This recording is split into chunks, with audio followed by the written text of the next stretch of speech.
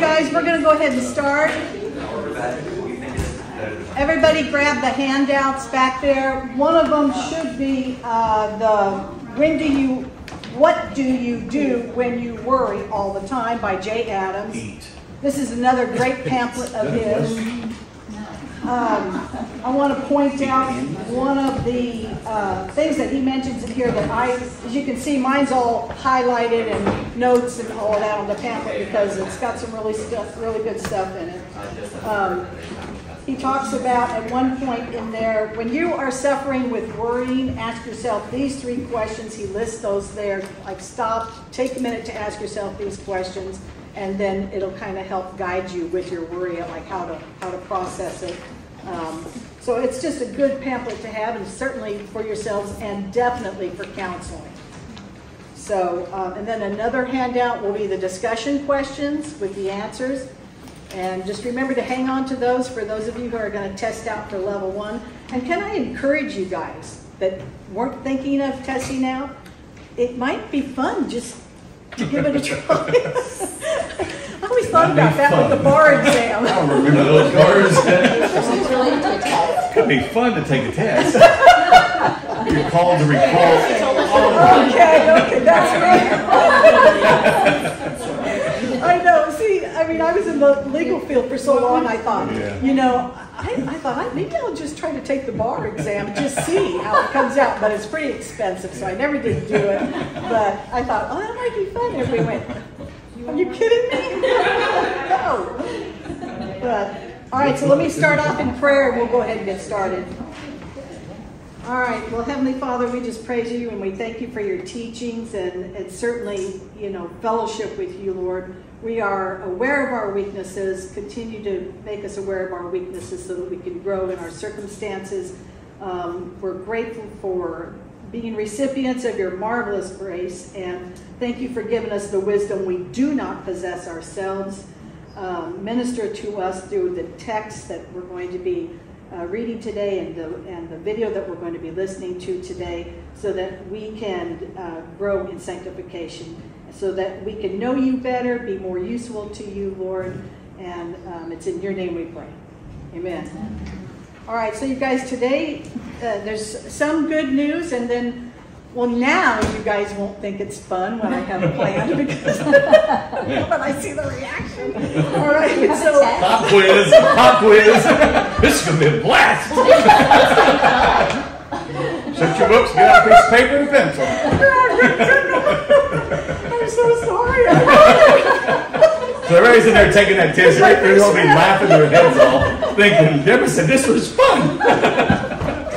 All right. Well, it's not. It's not really a test per se, but um, but I just thought since the video is only 30 minutes today, uh, and I'm gonna. I, I want to talk a little bit about some stuff that Jim Newheiser doesn't speak about that I think is important. But I wanted to leave time for there to be some critical thinking exercises. So what I did was made up nine cases. And so Les is going to hand those out right after the video. And I, I planned on two to a case. And then you guys read the case. And I gave a list of questions of what I'm looking for out of you all as potential counselors or even one another people, you know, counseling. Um, and you won't be able to answer all the questions, but you should be able to answer quite a few of the questions. And on the back side, they're blank, right, Les, where they can write everything out. and if you'll put your names, now what I thought we'd do is those who feel confident enough to read their case and talk about the critical thinking they were doing, we do that, won't we? Probably have volunteers waiting. And if you would rather not, I would still like to take them home to see who's getting what, you know. Notice how she did this after we voted on her? Yeah, I have my certificate.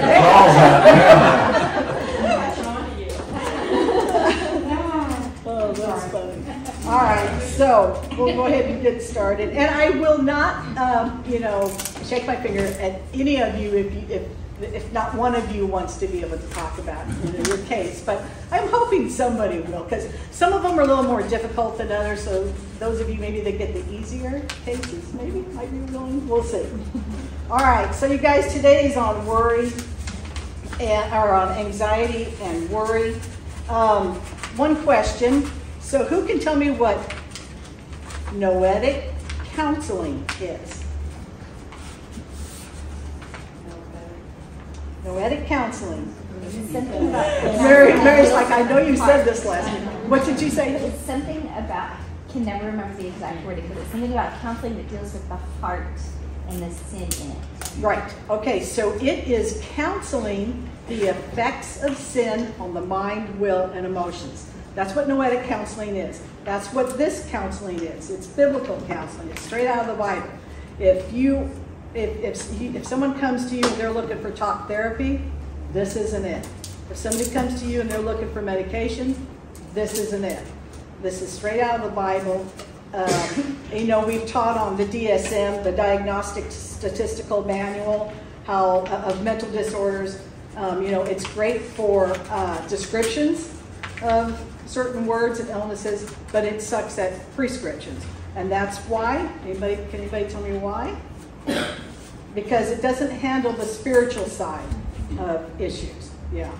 Um, so anyway, so I want you to understand that anxiety and worry has kissing cousins, which is fear and anger. So usually where you'll see one, you'll see the others. One will just be more prevalent than the others. All right, and some some anxiety can be life dominating. Remember the case I shared with you about the young lady that um, uh, could not leave her home because she the, fear of this deadly germ, and she wanted her parents to build a um, sanitation building at the front entrance of their home, and everyone that came through was supposed to go through the sanitation station. So like that was the level of fear. Uh, and also, remember I told you that a bumblebee almost ran me off the cliff, uh, 200 drop cliff, because fear is blinding, is blinding. So these are all emotions that are useful.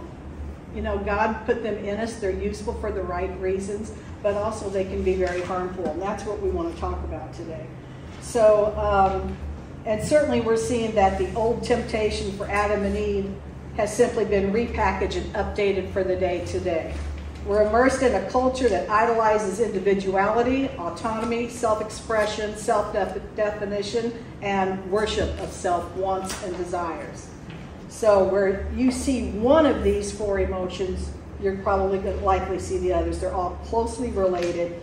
Uh, I was telling the pastor earlier today, they're kissing cousins. Anxiety usually involves worrying about what could possibly happen. Fear goes a step further and is more convinced that what is dreaded will happen. Um, and it's important to remember uh, concern and fear are not always wrong. There is a godly concern where you genuinely care about a person's soul, and an ungodly concern, which is anxiety. There's a godly righteous fear and an ungodly self righteous fear. When someone experiences apprehension that does not stay within the biblical bounds, there is definitely a lack of trust and thus a lack of peace. Godly concern is caring about important things for the right reasons, and it's accompanied by a trust in God's ultimate control and faithfulness. That's the kind of concern that helps you to be responsible to God. It will involve a focus on the responsibilities of the day, your spiritual growth, the love of others. Godly concern in the New Testament, it references Paul's concern for the churches, Timothy's concern for the Philippians' welfare. For our concern to be the right kind, you have to be focused on what's true and helpful from God's perspective. Well, in the scriptures, in Corinthians 12, what's that purpose? It's so that there will be no division among the body, that the members may have the same godly care one for another. Ungodly concern, which is anxiety, goes beyond reasonable concern and involves worry about mere possibilities. And worry about mere possibilities can turn into fearful imaginations. And I have counseled for that very thing, fearful imaginations, and because It, causes so much stress in a relationship and certainly in a marriage. And um, you have to take them to Scripture and show them that that's just a lack of trust. I mean, the Scriptures tell us it's impossible to please God without faith, so it's a lack of faith. Uh, when we're an- anxious, we're often concerned that something we want to happen may not happen. Focus is on potential difficulties and the future of self. All right, so I mentioned earlier uh, the case that I shared with you guys about the young lady who wanted the sanitation building in front of the entrance of their home. Those were self, what I call self-imposed laws. So by that I mean she had to have, um, you know, that was something she was imposing on her on her parents and on herself instead of uh, seeing how God viewed her lack of faith and her lack, lack of trust and her worries and her anxieties. And um, so I want to talk a little bit more about self-imposed laws. Mostly that's caused by status anxieties. And so do you all know what I mean by that? It's you know fear of man. You guys have had some teachings on fear of man. Um, this falls right in line with what the preacher was teaching us in Philippians. In Philippians 3, Paul confronts Judaizers who claim that circumcision is necessary to gain a righteous status before God, placing their trust in the flesh and their works rather than the eternal status accomplished and granted to them through Christ.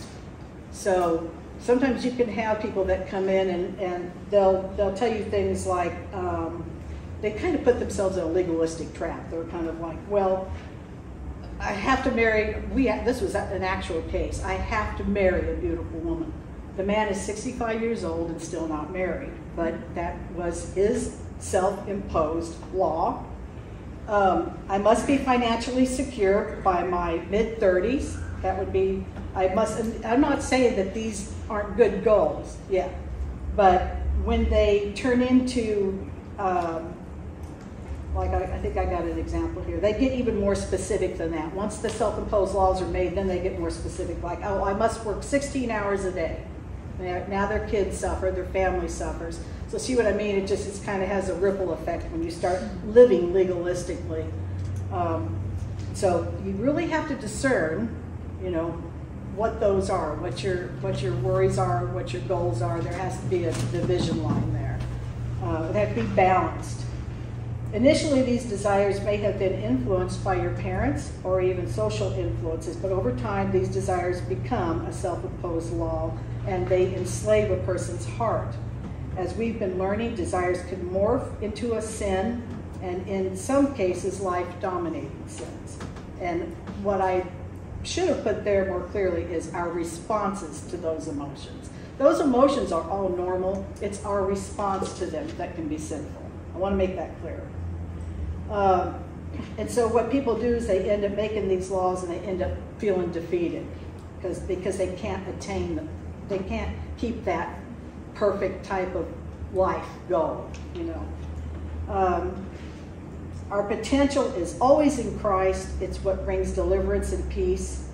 Uh, in Isaiah 26, 3 through 4, it says, The steadfast mind we will keep in perfect peace with a steadfast mind because we trust in him that he is our rock. And that's so true. So spoiler alert, the rock is not Dwayne Johnson. It's our, it's our Heavenly Father. All right, Caleb, let's go ahead with this. When we talk about worry and anxiety, um, You know, they always have to get that in, don't you? They're selling the books and the pamphlets and all that. Um, and another good assignment is if you're counseling somebody with anxiety or worry, fear, anger, even, um, it's great to uh, give some like open-ended questions like, um, I would stop worrying if, and then have them fill out an entire paragraph, you know, and finishing that sentence. Um, I would stop being fearful if because when you begin to read all that, it, it, it will show you uh, the motives and intents of the heart, and you find it, and you try to decide whether or not that's in line with God's word, and that's the direction that you take them. And he was talking about people with uncertainty. This young lady that wanted to build that sanitation room in front of the uh, front door of her parents' home. That's what her. That was her idol. She. It was idolatry. She was so Everything, she had to be certain about everything. Everything had to be, um, she had to know everything. So, and so I had to start with showing her that she's basically, you know, asking God to get off the throne and let her be, be there, you know. Even right down to dying, I had to take her to that scripture where it says that, you know, only God's aware of which, when each man is appointed to die, and just stuff like that, that you have to work through. Um, all right, well, so, ladies, do you want to stay for the, um, getting in a group and and do some critical thinking, or she's like, no. We got phone calls that were coming in. Okay. It's on mute, so we All have to right. get back, but thank you. Well, thank you for Thank coming. All right, now, I'm hoping that you guys will not do husband and wife teams. We'll be with somebody smart who'll break us up. Yeah, go ahead and open them, and then what you'll do is, you'll find the person who's holding your color, the same color, you get with that person. Oh, each getting one? So, Hold up your colors, everybody. I can't wait till next week. There's probably a lot, probably a lot to take the test. Next week, Gonna hook up wires to it. Jolt us if we tell a lie. It's gonna be great. Shannon, this is not uncommon for a teacher to do a pop something or other, is it? I love it. I'm gonna get the last one. I Caleb is hiding out of the corner. Oh, he is? No, these are different. Les Caleb. Oh, okay. Caleb?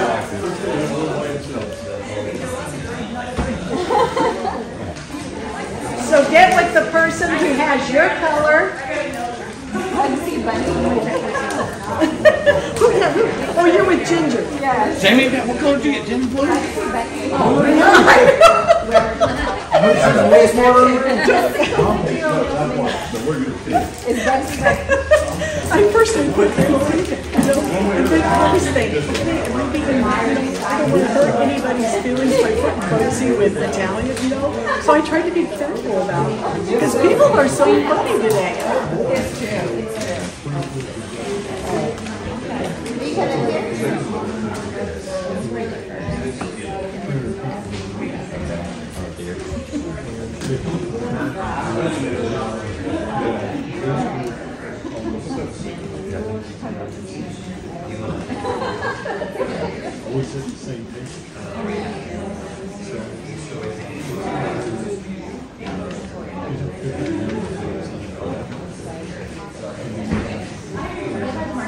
Here we go. Um, you guys, on the back is where you'll put what questions you would ask the counselee, what direction you think you should be heading with the counselee.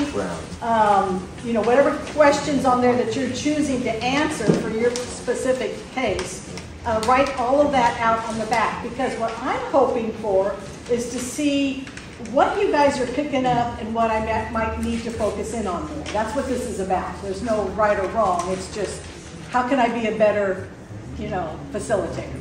So. And so, I hate for you to feel guilty over what I write down. That's good for teaching, though. I do bear some responsibility. so what is the outcome? What are we supposed to actually? So you're, you're, There's a lot in you're pretending like you're a counselor, and you're gonna write out exactly how you would handle that case with the information you hold as of today. Individually, although we both have the same? Uh, yeah, well, you might wanna both go the same direction, maybe not, but that's what you'll write on your paper. yeah. things going a big way.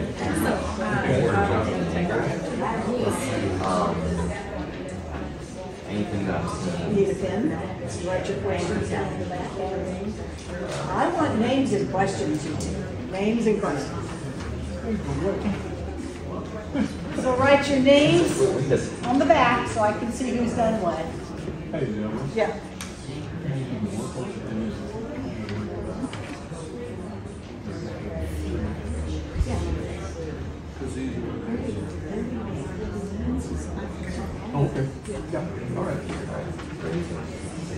Write your name on the back if you would like.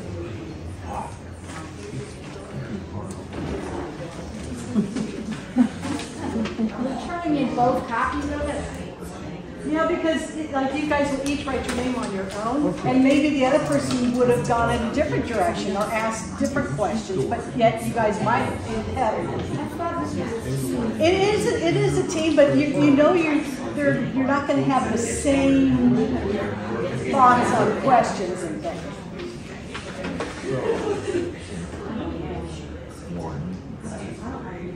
You don't want to, Emotions. it won't be great, it is, it will Side not be great. and if you guys, you know, like if you're talking to Mary and you're like, oh yeah, I'll go that way, well then, then you guys are working together on it. Yeah, that's right. That, that's the kind of stuff I'm thinking. Anna, you. you- Or the, the different ways to do it. I mean, that's the kind of motion. You don't talk so much.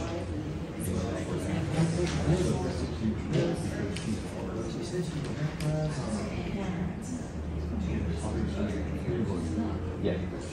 Right. Yeah.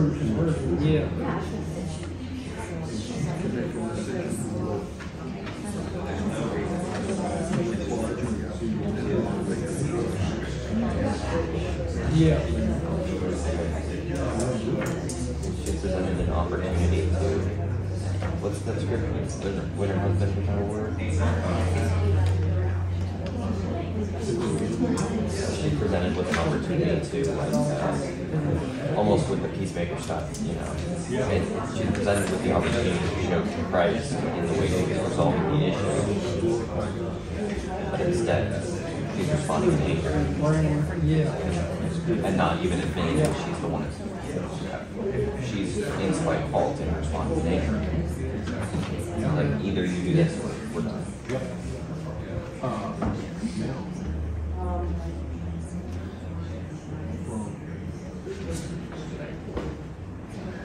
Miss Deborah, Yes. should we be assuming anything about our person? Like this is biblical counseling because they're a Yeah. professed Christian, or should we not? Okay, that's, that's, like, that's what I'm looking for, like, if you're reading your case and it doesn't really, and you're thinking, hmm, this person might be evangelizing first, you write that out. First, I see, you know, Okay. check on the person's So salvation. no assumption should be made. Right. Okay. Well, I was assuming that you're about that. Yeah, we have to do that. That's what we're, that's what doing. Okay, and that, that is true, so that's gonna make the case much easier. So I'm just trying to get a feel on this, yeah, like, what do you know up to today? Maybe they just walks in urgently, kind of talk, this is what they say. Yeah, like, actually, do you know that there are some churches with local counseling ministries that hold walk-in counseling sessions? And you just do it off the cuff for the community? It's not biblical. We don't have the time to go over Grounds the for divorce or five pages. Yeah, so just kind of a no-brainer. One other.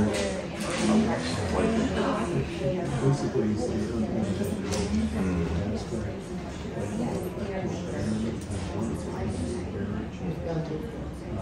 Yeah. Yeah.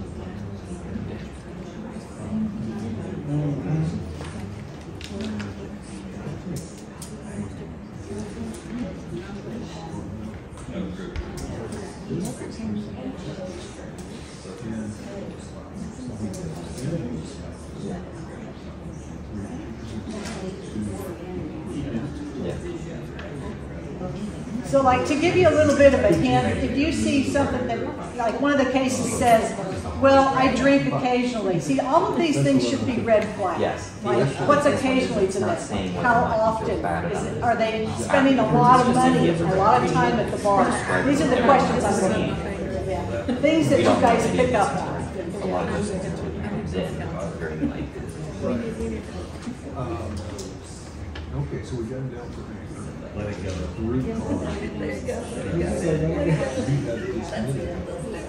I don't both want something. For him, he wants everything to go smoothly.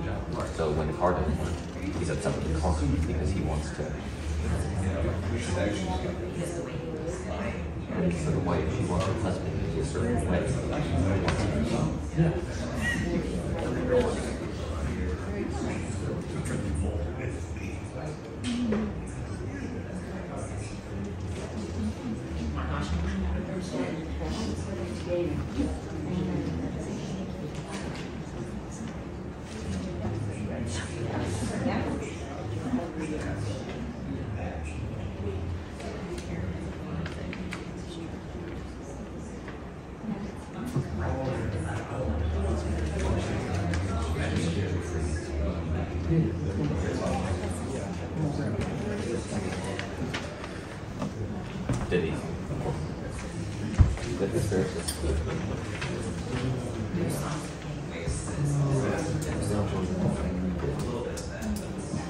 Tough because it doesn't say much about whether or not you guys are sure it doesn't about that. Doesn't fix it.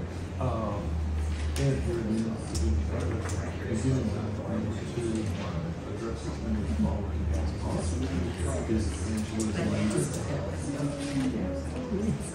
Yeah, possibly, because if he's so angry, he may not understand the gospel.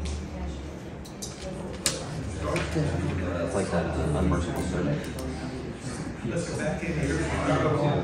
repentance needed Absolutely. on both parts. Um, the, yeah, Eastern Europe. Identifies sinful responses, spiritual, which is kind of what um, we already addressed. Exactly. Under, under idolatry.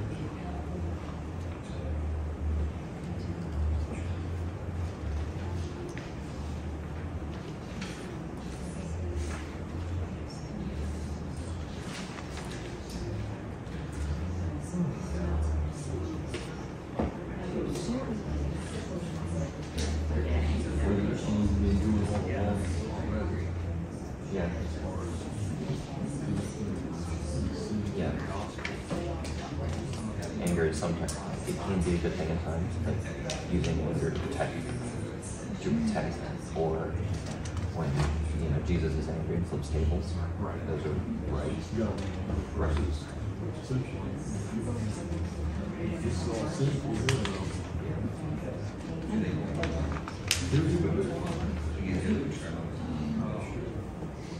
what, what's useful to ask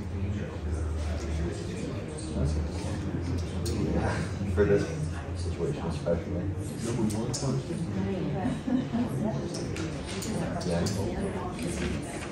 One thing I'm to be honest, is like, because often people will say, especially if they're going through the houses, well, yeah, I'll say, but how were you saying?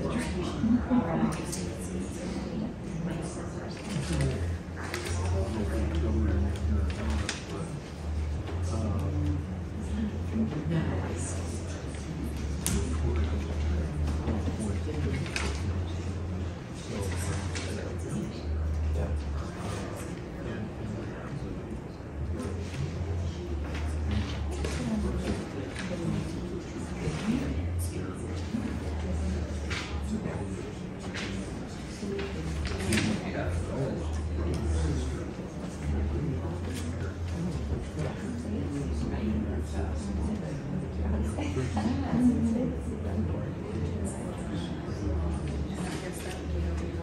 That's a start. Yeah. That's the.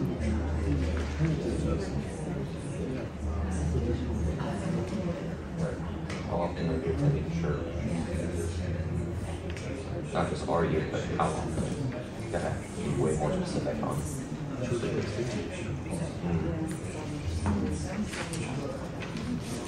Any you're being a part of? Uh, How regular, another thing how regularly these explosions or if whatever you call it, because they'll likely have a like a euphemism for them or uh, connected things every time, where you make the word sound better than it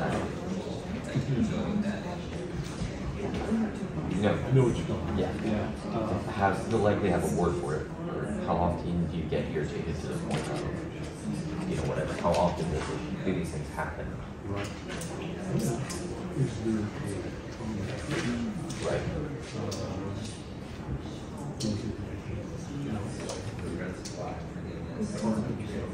Yeah.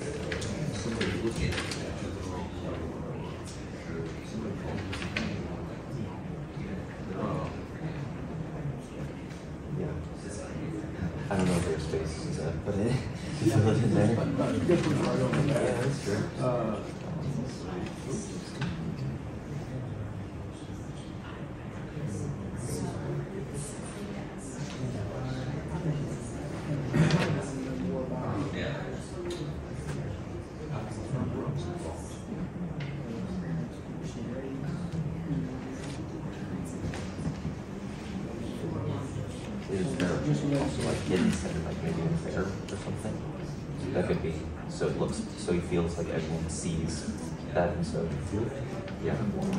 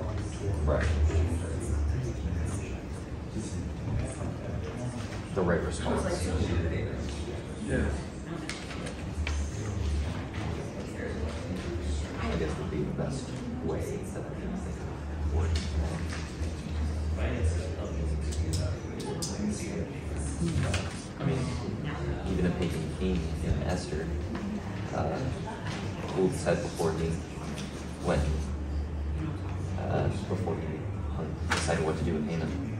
He went to the garden to cool off. He's going to take him and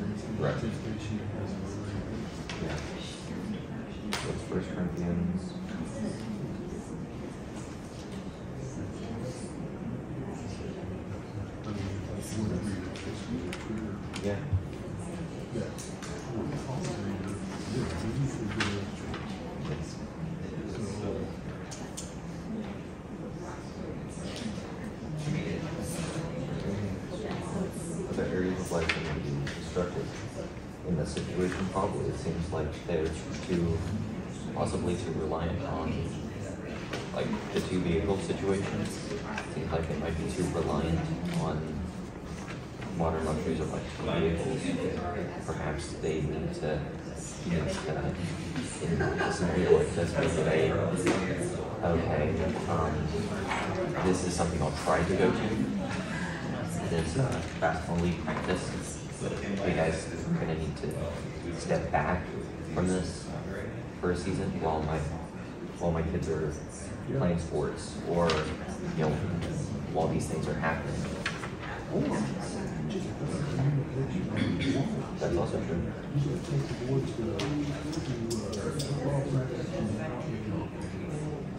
Yeah, or. Yeah.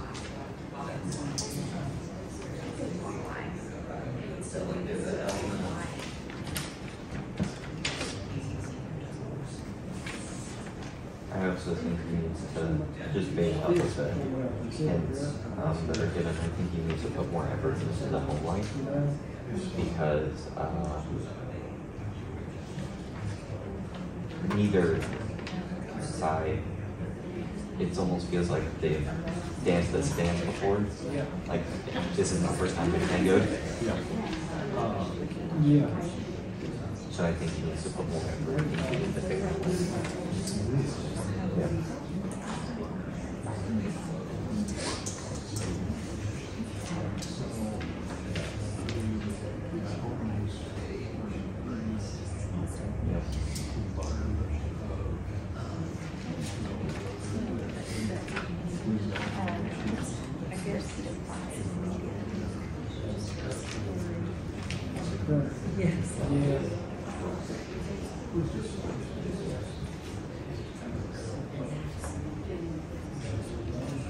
Which will certainly most of that is probably him.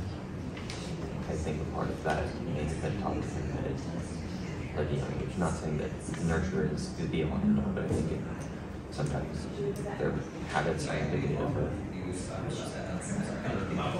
yeah, right. So you may need to even move out of the area if like if say a brother who used to be him is nearby. Being around him more may reinforce that. I don't know.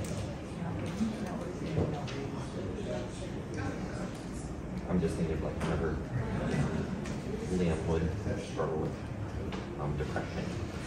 Uh, a lot of it is because it's artistic and the room felt like it was constricting.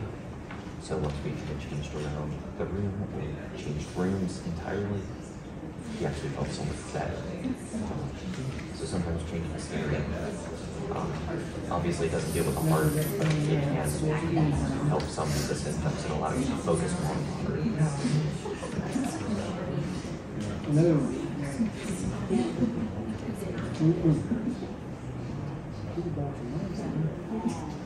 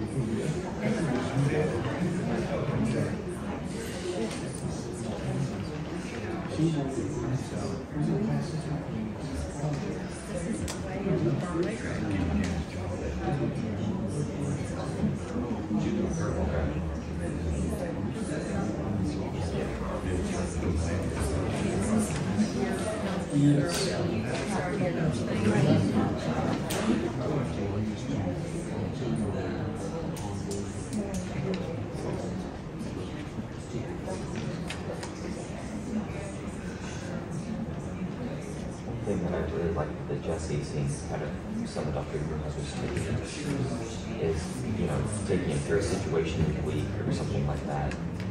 You have, you know, two counselors on the same page, you could go through the same event. And then when they come together, they can discuss it.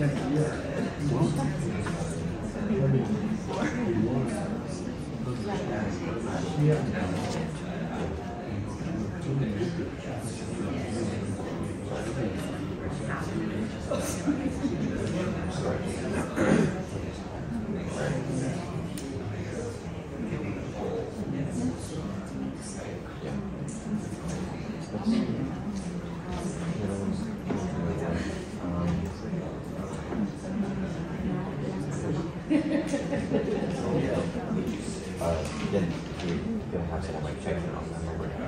She advocate or whatever. I would, I would, maybe like, maybe not necessarily a coworker, or, but if they're the member of the same church or something like that.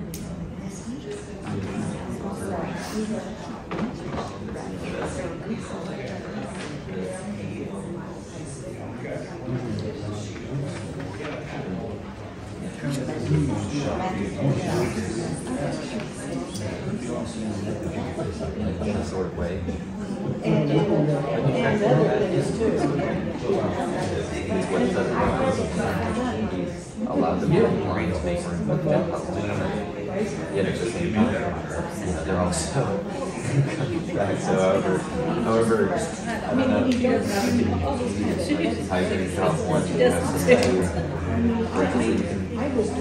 grabbed it. However you figure out that passage in Romans.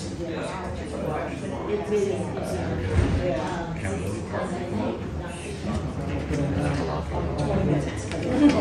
Yeah, really. Yeah.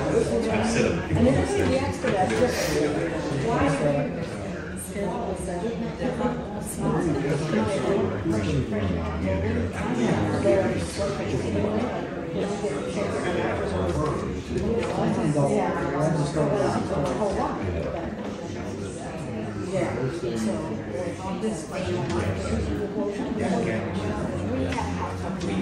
at least want this at some point. We may want it on our terms, we want it.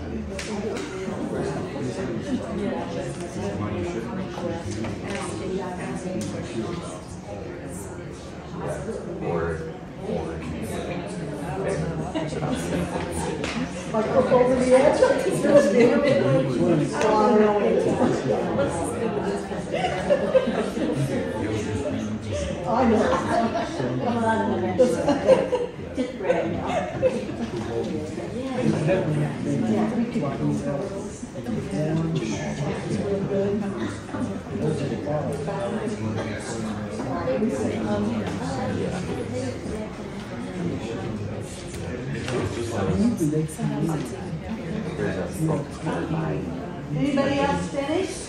Ready to turn them in? Okay, first, before I collect them, is anybody willing to talk about their case? Anyway, he's an apologist, You guys are? But he was a former cold case detective, Yeah. and he explains like, Yeah. and I found this true of just any situation. If there's an event that takes place, it never happens in a vacuum. There's always something that's leading up to it, a series of events. You would help her when you. So, you know, these arrests, something's left. led right, is everybody else finished? You guys need more a time? of sin or A little bit longer, okay. Cycle. You know, there's always a comes back and things. I know. Yeah, since you didn't, since you didn't have the PDIs, which would have had all of this information, then, yeah, this was kind of like a, okay, you guys are sitting here and we're having a walk-in counseling night, you know? So you go from there, yeah. Yes.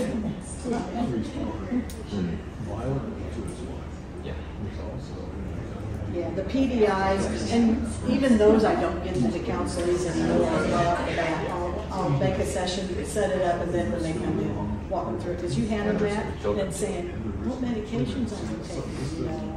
Very, very personal stuff, yeah, so, and so then they, sometimes they wouldn't come for counseling, because they didn't want to answer all those questions, so. I get them in there. So and then there's just gotta be a reason that she's staying around.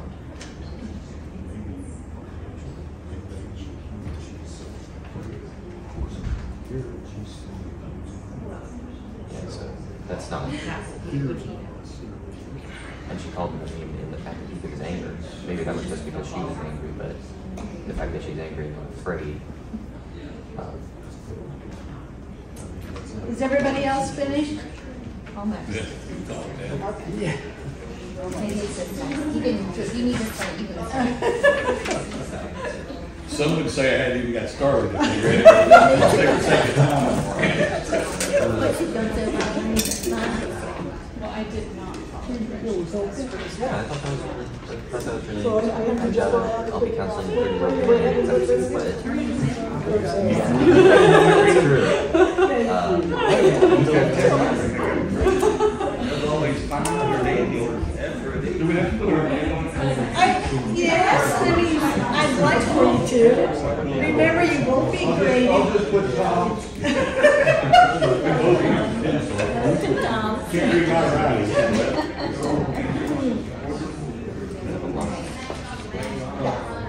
The best.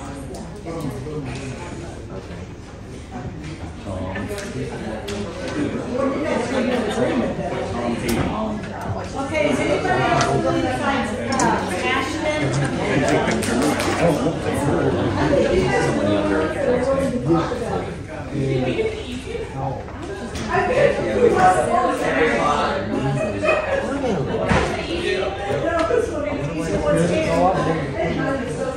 that's, that's, that's fair.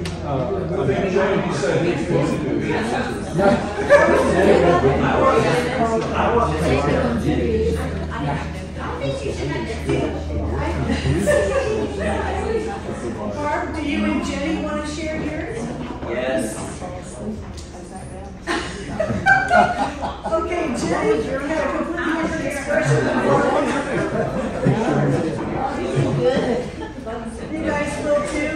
Okay, well, so that'd be two cases, which we wanted. We have another, we have another half hour.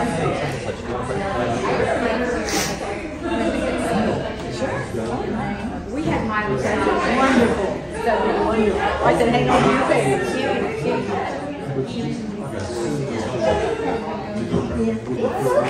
Okay, you guys, so what we're gonna do is have Heather and Ginger are gonna share, Ashton and Shanna are gonna share, and, and then, um, Naya and Karen are gonna share. say that. Oh, Naya, did you, oh, then, okay, that. Okay, Jenny and Barb, all right, so who would like to Not go enough of everything. first? I'll go first. Okay, Heather will go first. And you guys can give me ideas. Okay, so what do you want me to do? You want me to read the story? Yeah, read the story and then tell me what, what you guys decide. stand? Are we gonna go through all? of Would you like me to stand on the stool? I don't wanna present, but I really wanna have the, Yeah. I wanna know what you think. Go through all of what? Uh, my thing, I wanna know what you would do with her.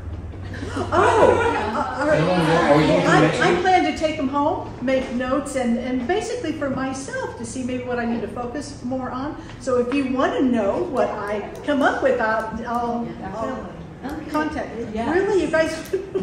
But you mean privately, individually, let you know, or I no? just wanna know what, where you would go with her. I All really- right. And you'll have to Yeah, read them next week and give you, give us a thirty second synopsis. Okay, I'll do Yeah, that. I'll do that. Not on, you know, like how I I really would like to know how you I- I don't wanna would know. would feel I will do it, since you guys asked. I would be glad to do that.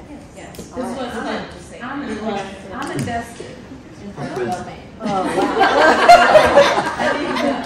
What was her name? Just out of curiosity. Queen Elsa. Not Elsa. And her husband Walter Disney And her husband was, no, no. her boyfriend Travis was Kelsey. And that's not why I was interested, I promise, but it was But, uh, but that really is. All Do you want to just do that next time? Do you still want us to share? No, I'd like it, yeah, I'd like you to go ahead and share, because we've got a little bit of time. Okay. All right, well, Ginger and I got Bugsy Bunny. He's a, a single 50 year old male from India. Okay, stop there. Okay, okay, know what you're thinking right now. I was going to put Italy, but I didn't want to offend anybody. But Bugsy would be an Italian name. I was, I was trying to be careful. with Okay, go ahead. And then he became a Hindu. Versus a Roman Catholic. You just changed the whole. Whole new persona. All right. Uh, he's been in the U.S. for 30 years now and makes a meager living as a stand-up comedian. He does attend a Baptist church. Although he is a comedian, he suffers quietly from a deep insecurity. His reviews are dropping. His manager is telling him he is distracted and not doing a good job anymore, so he's worried about being dropped. He's in great debt as this career is not always a lucrative one. A large amount of his income is going to buy alcohol, In addition to what he's provided during his performances, he has shared with his pastor about his exhaustion and with his need to be on all the time. So, Ginger, feel free to add if I miss anything. So Ginger and I, after talking about it, um, talked about how we would praise him for going to church, for being involved in church, for going to his pastor, um, in in talking about it, not just continuing to quietly, you know, try Suffer. and, yes, try and get through it himself. Um, some of the deeper questions we wanted to ask is uh, why he's feeling insecure. Kind of delve into that. What does that mean? Um, where his debt came from. Um, kind of a does he even know how to live within his means sort of idea, or is it a means of escape that he's using and that's how he's accrued debt? Um, why so much is spent on alcohol? Why are we going to alcohol? Is it, is it also an escape? Um, what does it mean to be on all the time? Um, and is there anybody you can let your guard down with? Do you have any true community in your church or anywhere? Um, I think that was it. Did I get them all? So, so those are the questions. Um, as far as hope, we talked about taking him to 1 Peter 5, 6, and 7 to reassure him he can lay his cares down before Almighty God. Um, and then maybe to Psalm 139 to remind him that God knows him fully already. Um, and so, again, kind of addressing those insecurities um, that he doesn't, he's fearfully and wonderfully made kind of idea. Um, as far as life changes, I think it was, we were going to talk about the, the drinking, especially if it's a means of escape, and eventually the debt, but maybe start, you know, as we're probing into the insecurities and things, maybe start on those tangible things as well, um, depending on how it answers the questions and things. And then, and then in continued counseling, um, I don't know if we talked about this. I said I would have him memorize 1 Peter 5, 6, and 7, and maybe start a prayer journal. Just start writing down his prayers as a practice of, you know, physically laying his anxieties out um, before God and, and getting used to that practice. Really good. Anything else, Ginger? No, I think you're all. Yeah, okay, what I picked up on the most that she found was you definitely want to ask him, what did he mean by being on all the time? Because as everyone sitting here knows, Robin Williams, who was a comedian, um, committed suicide. And if you look at even, listen to some of Jim Carrey's interviews, the stress of having to be on all the time, liked by people, especially when they rely on that for a living, is too much for some people. So that was really good.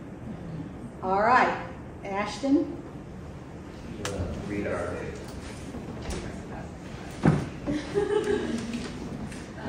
so, Harry Potter is a 21-year-old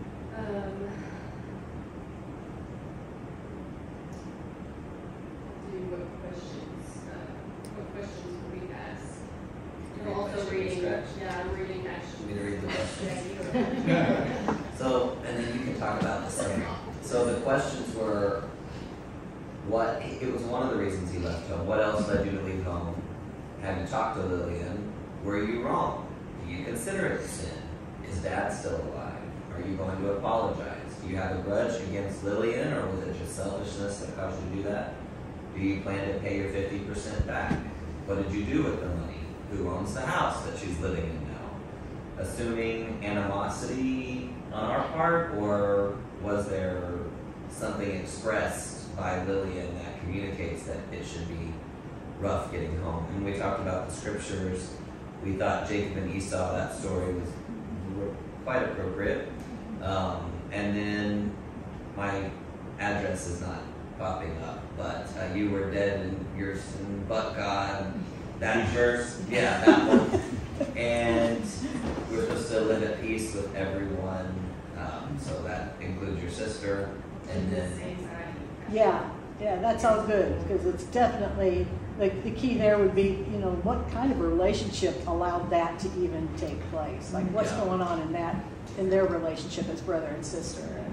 and then our action items, I'm sorry, is that what you were gonna get to? Like, So, yeah, know Jesus and walk with him, um, make reconciliation, make restitution. He suggested having, making a log list, like listing all the things that he did to Lillian, because we were talking about, he did more than just take money. He, I mean, one of the long lasting effects is that he deceived their father to think ill of her before he died. So she has to live with the fact that her father Right, not only gave his inheritance to the son, but his blessing. So basically died with that thought of her, you know? yeah, a lot of So- deep offenses, yeah. Yeah, so she's got a lot of hurt there, her part, and talks him definitely, uh, needing to be patient and willing to, uh, apologize and, and make restitution, even if she's not accepting of Mhm. that, even if she, or if she has a hard time with it, or whatever, just really realizing the debt of what he did. Yeah, like some of the classes that we've been talking about, when, when you, you know, repent, we're supposed to list out the things that we are so remorseful for. And that's what I think makes uh, conflict resolution so much easier, is when those are listed, the other person that's been offended understands, you know, that they understand all the hurts. So I, I like that. That's good. All right, now who, uh, Jenny, are you reading? Okay. Minnie Mouse is a 56-year-old single woman. She currently works for Medical Share Insurance and has worked from home for the last two years. She does not have a good relationship with her mother, who is 85 years old, a drunkard most of Minnie's life, and lives in another state. She states that her mother is New Age. When asked what that means, she stated, she reads tarot cards and professes to be a psychic. Minnie's father died when she was two. Minnie accepted Christ at the age of 40. Before giving her life to Christ, she turned to several men looking for love. Minnie was engaged to a man named Mickey for many years, but due to her periodic substance abuse, he broke up with her. Minnie then sought secular counseling for sobriety. She sought out a psychiatrist named Dr. Stevenson. She has been struggling with low self-esteem most of her life. She does communicate on occasion with her sister, who lives in Missouri. Her brother is a Buddhist, so she does not have a relationship with him. She stated that she feels the devil whispers in her ear that she will be isolated and alone forever. Medication, Lexapro, and has, has been for 10 years.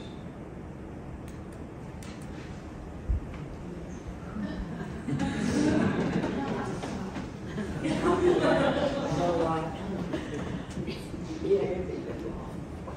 want to read? Um, we didn't know exactly the right Oh, that's okay. And with the answers on the back, it's hard to know what they're answering, because they didn't write the question. Um,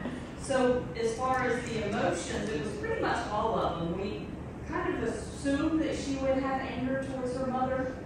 Doesn't really go into that, but, Yeah, um, worry, anxiety, fear, and depression definitely, yeah, um, about being alone. Um, And, um. yeah, definitely family relationships is bad, um, for her, which, you know, brings instability and, um, you know, like she was looking for love through, you know, different relationships. And so she's looked in the wrong place for, you know, for love. So what kind of questions would you ask her? Um, well, backing up a little bit, it says, would evangelism be needed? And it says that she has been a believer since the age of forty, but it doesn't seem that she's had a lot of biblical teaching. Uh, Okay, that's good, because that's, that's what I wanted you to pick up on. And that, that's why sometimes you have to have them clarify, you know, their salvation, talk to them a lot about salvation, how they see it. So that was, that was a good, that was a good. the questions are, are you in the church? Do you, um, read and study your Bible? Do you believe the Bible, the whole Bible? Right, right, right, right. And to identify God's truths as truth. Yeah, yeah, yeah. Um, She definitely needs repentance. Um, I wrote, um, is isolating yourself of sinful response. You know, she works from home, she doesn't really communicate with her family, doesn't talk about church attendance, so, um, would that be a sinful response? It, I, it's not a simple response, but it can, that response can lead to sin. Certainly doesn't seem R- Right, like it's not productive. It's not productive. And so people that isolate, um, and usually the times that I hear that the most is when I counsel for addiction. So that's that's one thing they'll isolate, and a lot of them because they uh, have not come out about their struggle with addiction. So you have that going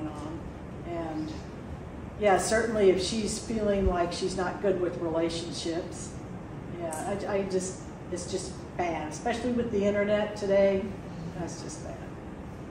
So, yeah, it sounds like you guys picked up on some good things. She definitely needs to work on her relationship with God and quit trying to feel like her relationship with other people are gonna fill that. Right, fill, fill that void, yeah. All right, anything else? Can I ask a question? Sure. Uh, and this one, this, this particular person was on, on antidepressant. Uh, and when you get that information, I've been reading so much about the antidepressants and antipsychotics, um, that it's so bad for you. Is, is, do you ever try to get them off of that? I know, I've been asked that, I think Ashton asked me that too one time. And that's, that's, I have had them come into me and say, um, I've been prescribed, I started out prescribed this one. When it kind of wasn't working, I got prescribed this one. When that wasn't working, now I've been prescribed, all right, then, since that's what they brought to me, then that's uh, my job as a counselor to try to help them in that way. But unless they come to me and say, I want to cut this down, and I always immediately involve their physician, always involve their physician. But yeah, if that's what they're wanting, then, you know, then we can do that. So, Because why? Because do you know of negative effects, especially over prolonged periods? yeah, it starts to affect the, it- yeah, it starts to affect the body for one thing. Um, this one lady that was on several of them, along with other medications. And, and it gets so complicated because this particular lady I'm thinking about, she would doctor shop. Yeah, and so one doctor didn't know what the other doctor was prescribing, and she got real good at that. And now that we have, in Florida, there, is there a drug monitoring system in Florida? there is. Okay, so I think that's gotten a lot better, but that used to be real bad when there wasn't a drug monitoring system. Um, so, but if I see that it's just like a, the lowest dose, and that's not why they're in there, they're, they, you know, they're in for other things, then I usually don't address that. I'll ask, uh, are those, are you still on them? Are they working? Have they been increased or decreased at any time? So you get some kind of idea about, you know, how it's affecting them and, and, you know, which way they want to go. You know, There's a black box consideration too is uh, if the drugs were working or if their practitioner that's prescribing those drugs, if, if that whole system was working, they wouldn't be sitting across the desk from you. So they're looking for something because they're not getting relief anyplace else. Mary, what did you start to say? Uh, on, on most of the antidepressants, there's a back, a black box, um, on them that, you know, it says can cause suicide. But that doesn't seem to deter the doctor from prescribing them. Yeah, You no, know, no. that's- And at one time, uh, I forget what the years were, but they got a kickback for them. Yes. So that They made still it, that do. made it worse. I bet that's true. Ashley? They, they can't just stop taking them. They have to They have to wean themselves off of them and such because it can, um, really mess Well, they're you up. addicted. Yeah, yeah. And and that's why you have to get efficient, uh, uh, uh, their physician involved. Uh, One young lady that I was counseling um, was prescribed ketamine spray. You know, I've told you about the ketamine clinics in Tampa where you could just go, they IV you up, right? She was using ketamine spray. And she wanted off of them, so I had to go back and tell her doctor that, that she wanted off of that, you know? And so this physician did eventually wean her off of that. But, um, but like, and that was, as I talked to her, it was actually, from what I could tell, and from the doctor's notes, it was more of an emotional addiction than a physical addiction. She just thought she had to have them, or she just couldn't face, you know, going out in the world, and it was just, so it was an emotional addiction.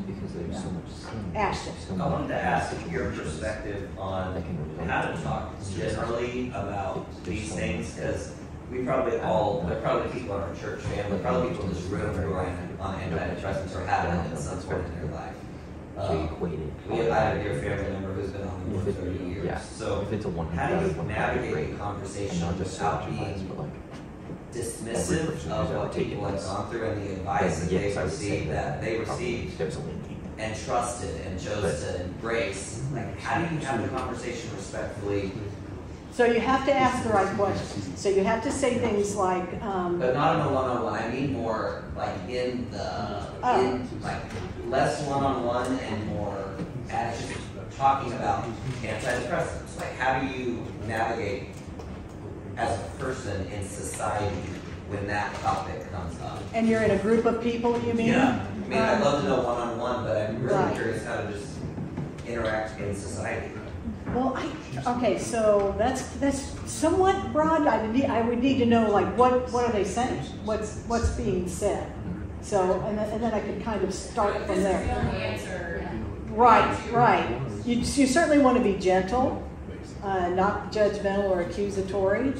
Um, but I think it would depend on what they were saying, and then I'd, I'd go from there. But I would ask a lot of questions and make them say what their thoughts and what their thinking is on it. So what I hear you saying is, is that correct? Or, you know, so, well, well then, well, how do you feel like they worked for you? Or, you know, you, you approach it that way. I was gonna bring him straight to Dave So- and UK see what all that's going on. Like,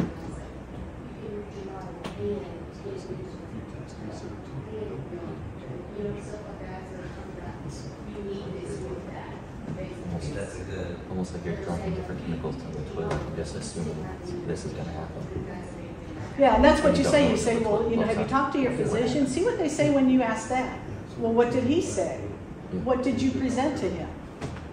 And so, you know, you have to do that. Let them talk a lot. Have you ever had physicians push back and tell you no, they won't? Yeah, no, uh, the people, that's because that's their, that's their patient. They're saying they want off of them. And so I think when it works that way, uh, I've never had one come back and say, um, well, no, you, or, or, you know, something horrible might happen to them. What it usually is, is, all right, well, I'll prescribe a lower dose for a while. And so they're still prescribing, they're just doing a lower dose. And sometimes it's probably a little longer than you think, you know, from talking to the counseling than they needed to. Um, but I've never had it really completely pushed back. They were A lot of times, these are so when a good, doctor's you know, office they the don't first even, time, they don't when you even fill out give where they these found five pages of These information, These facts one are so of the terrible. things they ask you are, Are you sad all the time? I think stuff like that. Do you have, uh, You know, it's emotional really important to anxiety? aware these people. Do you think you Not only need where they come medication? but where they're getting I their mean, it's sources. just begging Because people. selection bias is. Yeah, and it's, right, well, and not only that, but Like, at some if you point, um, take I all noticed in work medical you records of that they course would it's- be of listed, course if they it's said they were 100% sad for a short amount of time, Or if now you that take they're listed as a mental Yeah. illness, right, and so. Also have, uh, of course, it's gonna be I hundred think percent. question, it's just like raising awareness, like, you you know, like questioning it yourself and its, its effectiveness and its, the need for it, just in, in groups like this. The fact, is that what you mean, like just as a, not one-on-one, but just, yeah, About thinking so. right. But, yeah, just, um. But what point- Thinking that, well, I've kind of been questioning, I've kind of looked into the research of that and, you know, I'm, I'm questioning that myself, the effectiveness and the need for it. And is it over, you know, just maybe saying those kinds of things would get somebody thinking. Well, I had a friend tell me that there's no way she would ever quit taking. them. That there's no way she'd ever quit taking them? Probably because she's emotionally dependent and scared to, to come off. Yeah, and, and those are the key things that you pick up on. See, that's the way this lady was with the um, ketamine spray. Shannon, did you have a question? Yeah, sorry, are you always the person that calls and talks to the physician about like getting on the medications or do they ever do it themselves? Yeah, they, I have definitely had them do it themselves, and then I, So that's what I was kind of wondering, I wonder Yeah. if the doctor's getting a call from a counselor that says, hey, they're ready to get off, I feel like going, oh, okay, more, more so than the patient. Right. No, you, no, I- "Myself, the- I'm ready to get off, they might be like, hmm, no, you're not. yeah, the patient, the patient has to go in there saying that's what they want, because sadly, the psychiatrists view biblical counselors, they, right, almost in this, you know, like, like how we view them. in- Right, and so there's a conflict there, so uh, it's, it's better if the patient goes in and, and says, you know, I want to cut That's that. actually the opposite of what you were thinking. She was thinking that you might gain more respect from the, but actually, it wouldn't be that way. From the doctor, you mean? That get more respect from the doctor? I just didn't know if they would see necessarily that you're like a biblical counselor, if they would just say like,